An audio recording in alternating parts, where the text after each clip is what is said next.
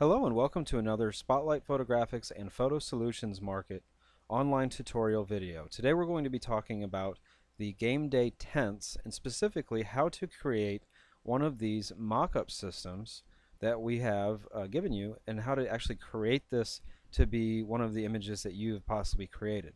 Um, unlike the shirt templates or the sportswear templates that we have, uh, it's not as easy as just dragging in your final artwork and masking it into the template that we provided to make the mock-up. This one actually is going to require some uh, special steps to get all the different perspective looks to actually put it in a tent. Obviously it's not going to be exactly perfect, but it's at least something good enough to show a customer to have them get an idea of how their tent is going to look after you've designed it using our templates.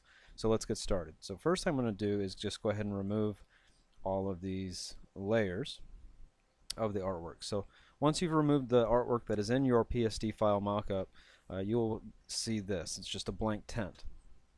Now, just so we know which layer is which, we can always turn off the eyedrops over here to see. And you'll notice that the first one here, layer 2, is the right side of the tent. And layer 1 is the left side of the tent. So what we're going to do is layer 2 is this side, layer 1 is this side here. So let's get started. First thing we're going to do is work on the right side. So I'm going to drag in the side that I'm going to show my customers as the main part, which is usually going to be the subject side or the player's side. So first thing we're going to do is get this so that we can cut out the pieces.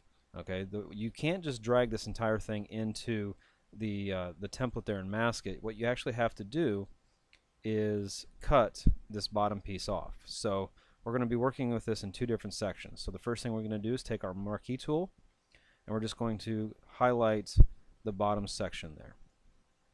Now if you're on a, on a PC, if you hold down Control Shift and J, that is going to automatically separate those two layers. So if we turn off the top of the tent, we are left with just the bottom. So we're going to get worked on this first. We're going to bring this up and we're going to mask it into that layer. To do that, we're going to bring it down to layer 2, and we're going to hold down the Alt key and put our mouse between the two layers, which is going to create this different icon, and then we're going to click, and that's going to mask it in. So now what we're going to do is do a free transform, which is Control T on a PC, and we're just going to size it into that spot. Now if you notice the tent is at a different angle so what we're going to do is actually shift this in a second. We're going to right click on that before we apply it and we're going to say skew. Then we're going to grab the bottom corner here and we're going to drag up and that is going to give it that perspective of the side of the tent. And we'll bring this one up just a little bit. There we go. Now we can apply that and that's all we need to do for this side. Now we're going to work on the top. So we're going to turn that one back on. And before I mask this into the tent, we are going to actually do a transform on this and size it so that the bottom is the same width as the top of that bar there. Go ahead and apply that so that we can mask it in now and we're going to mask it into the layer below it. Alright, so now we're going to do the same thing we did with the bottom one except we're going to do it with the top. So we're going to do a transform, Control T. We're going to right click and say skew again and we're going to bring this up just like that and we'll bring this one up as well. So now it's at the angle of the top of the tent. Now what we're going to do is hit Control T again to get out of the skew function and then we can grab the top of this and smash it down. Now if we right click and say skew again we can grab the middle and pull it over and then we just center it up. And at that point we have that where we want it and we can say OK.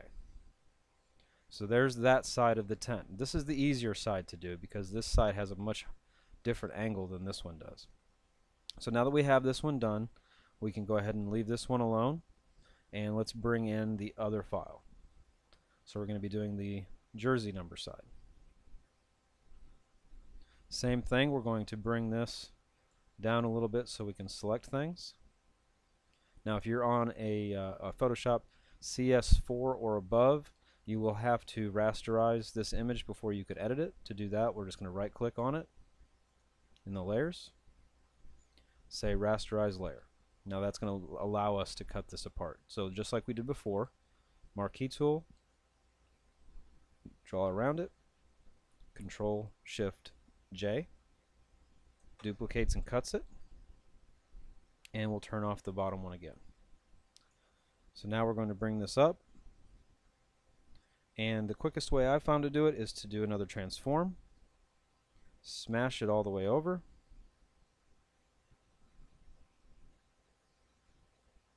and then we do our skews again. So we're going to right click and say skew, grab this corner,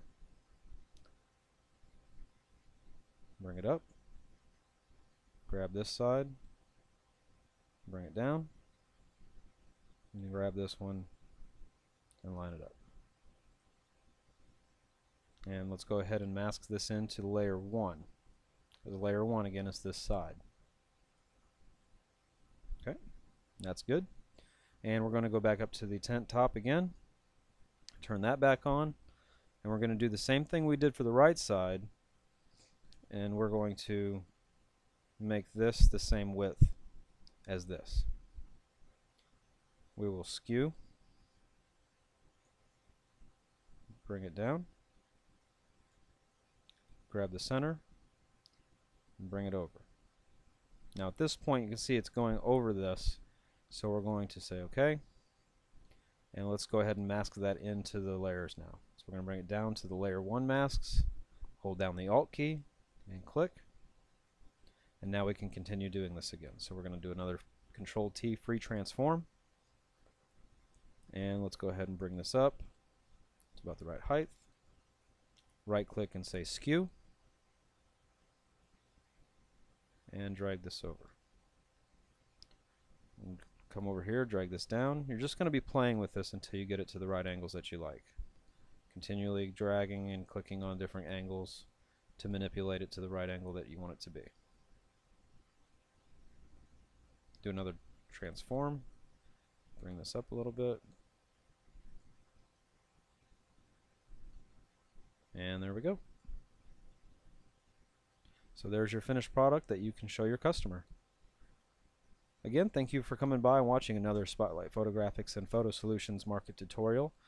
We will be putting more tutorials up as we have the time to do so. And again, thanks you for stopping by and hopefully uh, you can find more products just like this on our website, photosolutionsmarket.com. Thank you very much. Have a great day.